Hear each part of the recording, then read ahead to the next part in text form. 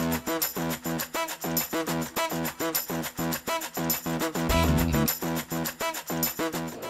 this is Nancy Dussault Smith, and we are here at the Engineering Awesome event in New York City. We're giving folks a behind the scenes and a peek under the hood of iRobot products.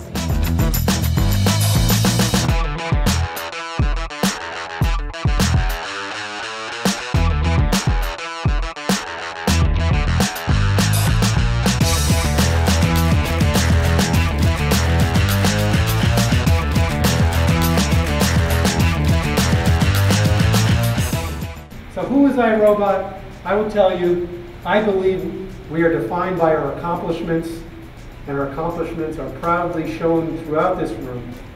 This company has made a difference. A bunch of geeks and dreamers who had this notion that the demo wasn't enough, that to change the world we had to actually solve problems with cool technology.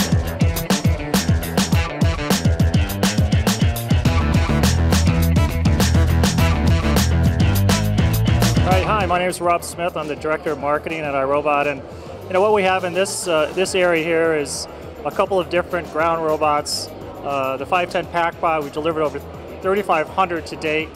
Uh, virtually all of them going into Iraq and Afghanistan and saving soldiers' lives day in and day out. In, in this section here, we're demonstrating um, how our robots are reacting to a real world environment. So this is a demonstration of our iAdapt technology and how our robots can adapt to different obstacles to ensure complete coverage. So hi, I'm, I'm Tom Wagner. I'm the CTO of iRobot. Um, we're here at our event. One of the things that we're featuring at the event is the Aware Head that runs the Aware 2 robot software that enables autonomy. Some of the other technology that we brought with us today include the Landroids robots. And typically here what we're doing is talking about the, you know, the novel mesh networking idea as well as the potential recon application of these robots.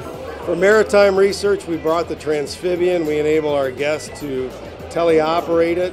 Um, admittedly, there's no water tank here, but everybody enjoys watching the, the flippers go um, and gets the, the novel idea of this approach to underwater propulsion.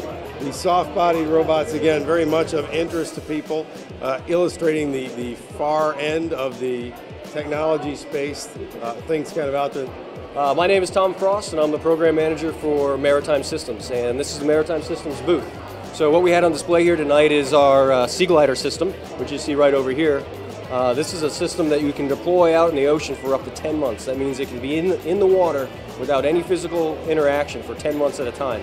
It can dive down to 1,000 meters, and it can be driven uh, from any internet co uh, connected computer around the globe. That means that we can put sea gliders in the Arctic, we can put them in the Antarctic, we can put them in the Pacific, and you can drive them from Starbucks or your bedroom.